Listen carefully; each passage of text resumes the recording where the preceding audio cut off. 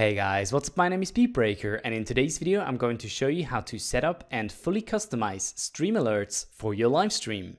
Now this video consists of three parts. In the first one we're going to look at Streamlabs, which is the biggest and probably most popular software to use for stream alerts. In the second part I'm going to show you how to integrate Streamlabs Alert into OBS Studio. And in the third part we're going to look at how to fully customize the look, sound and feel of your stream alerts such that they fit your personal style. Now, if you're only interested in a few aspects of this video, then I have left the timestamps to each topic discussed in this video in the description box below, so you can just click on the link and skip ahead to the topic that you're actually interested in. Now, if you have not seen my previous video on how to get the best possible settings with OBS Studio, depending on your upload speed, then I would highly recommend you to check it out. It's now linked in the top right hand corner. But without any further ado, let's jump right into this video.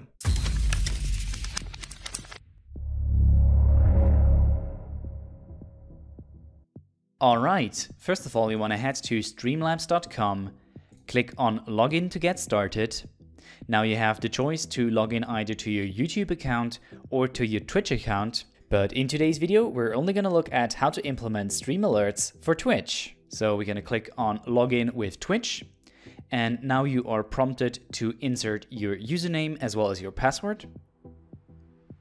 And after that, you're gonna have to authorize that Streamlabs is indeed allowed to access your Twitch account. Alright, so once you've logged in, what you can see here is the Streamlabs dashboard. And this is actually pretty handy. What you can see is kind of your donations, your followers over a certain period. So right now it's actually selected for a day and you can select, for example, a year. And you can see in the year 2018, I have gained two followers on my test account. Now for today's video, we're actually going to work with widgets. Now Streamlabs has a plethora of different things that you can show on your stream. So you have like a chart that you can show, you can show events, you can show labels, donation tickers.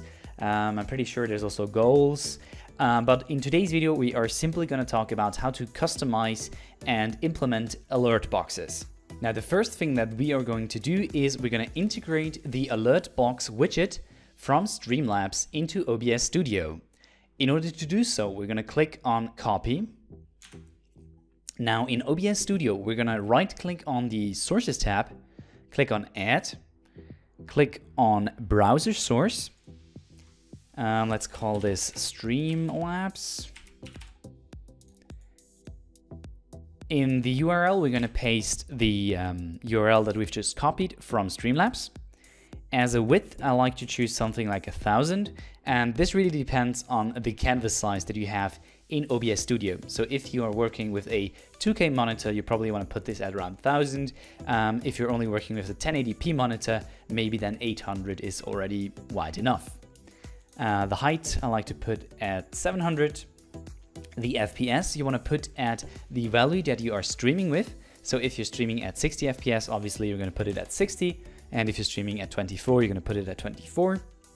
Don't change anything in the CSS tab. And also don't click either of these two boxes. Hit OK. And naturally, nothing is actually going to happen now. Um, all you're going to see is this red rectangle. And we're just going to put this somewhere in the middle of our scene. Now, in order to test if this actually worked, if you can see a follow alert or a donation alert pop up in OBS Studio, we're going to go back to Streamlabs. And here you can find buttons that allow you to trigger a test follow, a test subscription, etc, etc. Let's hit test follow, go over to OBS Studio, and as you can see, we have successfully implemented Streamlabs into OBS Studio and we can see a successful test follow. Now, if you're a bit of a lazy person, then you might want to stop already here, because what I've shown you now will work for donations, for bits, for followers, for subscribers. All of these alerts will now display on stream.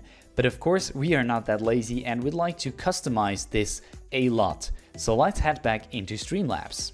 Now the first tab here shows you the general settings and the only really important part here is the alert delay setting. What this describes is the time that Streamlabs wait between different alerts. So in order not to actually spam your stream, it will wait um, for the set time here between a next alert is being displayed on stream. And now let's head over to the follower tab. Now these different alerts actually have pretty much the same structure each time. So I'm just gonna go through the details here with the follow alert and then I'm just gonna show you the different things in the different tabs. First, you can always choose if you'd like to enable or disable the specific alert. So for example, if you're not partnered, you might want to disable the subscription alerts. Then here you can choose the layout, so you can either have the text below an image, the text on top of an image, or the text beside an image. I'm going to choose the first option. Then you can have a thousand different animations for the text animation once the text is actually being displayed. So you can have something like a rotation, you can have a roll. Um, I pretty much just like to have this in, as fade in and fade out, as I think this looks the most professional, but you might want to have something completely different here. Now, the message template shows you what is actually being displayed under your image. So the first part is the name of the person that is following you. So this is in curly braces and then you have a sentence that is always being shown. So you could also, for example, say um, just followed. Now in my case, I'd like to have the name and the just followed on two different lines. So what you can do is you can actually insert HTML code into this message template. So this is um, bracket BR, which indicates a line break. Now in order to see how this actually looks on stream, we can click on test follow. However, first we always have to click on save settings. This is very important, otherwise you won't see the changes appear on stream. And voila, you can see we have speed test with a line break and then just followed. Now the next thing we can change is a text animation and this is the animation of the follower that is being displayed on stream. And you can see an example of this animation here to the right. If you click on something, you can see that you have kind of this, this effect here for this follower that have just followed you. And quite frankly, I usually like to leave this to none. Now, obviously, we also want to have a different image. However, we're gonna have to provide these images ourselves. And in order to do so, I usually like to go over to giphy.com and search for something. For example, I've searched for smiley here um, by the way, you can click on stickers in order to have transparent images. And I'm going to use this one here because I think it looks really cool. We're going to hit right click and save image as. And we're going to save it as smile GIF. Head over back to Streamlabs, hit change media, and then we're going to go upload the smile GIF. And we're going to double click it. We're going to hit save and let's have a look how this looks on stream. Voila, we have just successfully implemented a custom GIF into our follow alert. Next, let's see how to get a custom sound for our follow alert. And we're gonna use an example of a video from YouTube that we'd like to convert into a follow alert sound. So for example, I have the CSGO SAS sounds here as a video, and we'd like to use this section here as a follow alert. Now, in order to do so, what you have to do is you have to get the 4K video downloader. This is probably the best possible program to download and convert YouTube videos. We're gonna copy the link, paste it in the 4K video downloader. Now we're gonna select extract audio and extract the original audio track. Hit extract and open the file location. Now we're going to use an audio editing program. I'm going to be using Audacity. Import the clip. Search for the time that we are interested in. So this was 517. And I'm assuming it was something like this one here. Uh, unfortunately, I cannot play this uh, bit back because I'm currently recording with Audacity this commentary. So I'm just going to assume it is actually this part here. I'm going to press Ctrl X on the keyboard to cut this part out of the clip. We're going to remove everything else because we don't need it anymore. Press Ctrl V to paste it. And then we want to export the audio. And now this is really important. You have to export the audio as OGG Vorbis format. Um, Streamlabs only allows OGG format files, so you cannot upload an MP3, for example. And this is actually why I'm showing you this with Audacity, uh, because Audacity allows you to save clips in OGG Vorbis. We're gonna save this as thank you. And now we're gonna import the clip into Streamlabs. click on it to see if it's the correct one. Champion, let's hit select, hit save settings, and let's test the follow alert.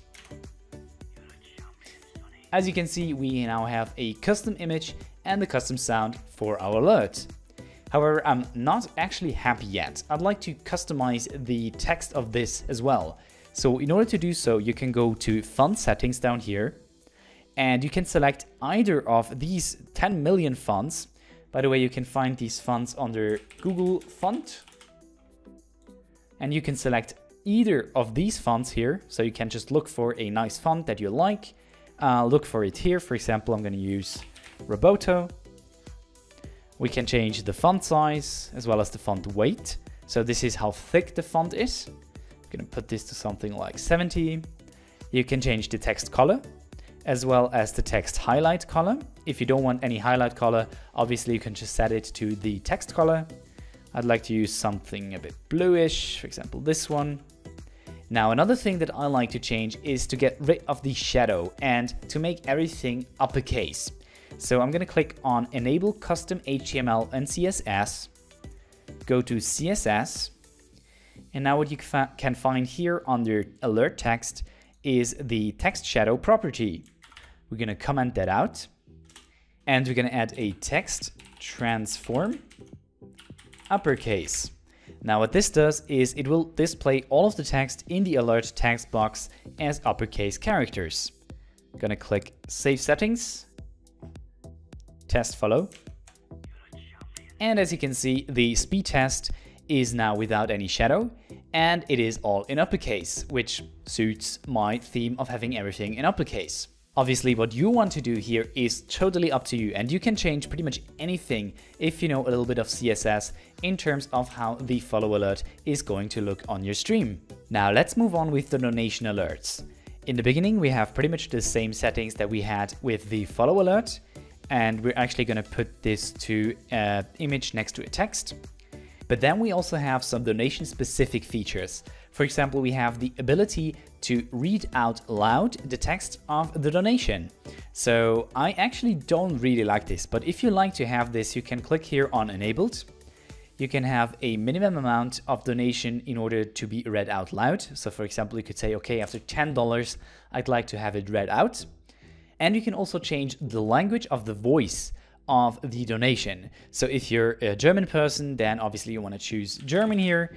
Um, or if you're English, you want to choose English etc etc now the message template is pretty much the same as before we have in curly braces a placeholder so name donated a certain amount we don't like a text animation once again we're gonna have to use another image and I'm gonna go into this folder here and use the flying money because that sounds pretty good.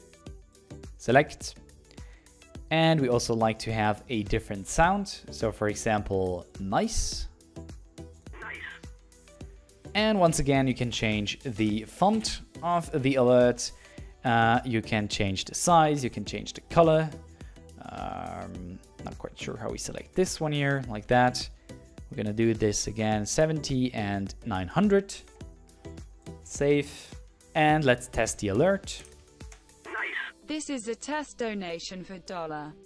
Alright, and as you can see, because the test donation was around $85, that would have been nice, uh, it actually is being read out loud. Now again, I'd like to disable the shadow and put everything to uppercases. Uh, this is highly personal to me, but you can change this of course to whatever you'd like to. Now another thing you can do is you can actually allow or disallow people that donate on your stream to include their own GIFs into the donation message. So for example, if you'd like to have your own image to be displayed there, you must click disable here. And finally, we have the donator message settings. Uh, here again, you can choose a custom font. So we're gonna choose Roboto. You can choose a font size as well as a color and a minimum amount until the message actually shows. And the final thing that we are going to look at here today are bits. Now once again you have all of the regular settings here, allow or disallow bits, the layout, the text animation, if the bits are actually being read out loud, we're gonna set this to disable. um, how the uh, custom message template looks like. Um, we're gonna put this to none once again, and we're gonna change the image to this one here. Um, I actually like the bit sound, so we're just gonna keep this here.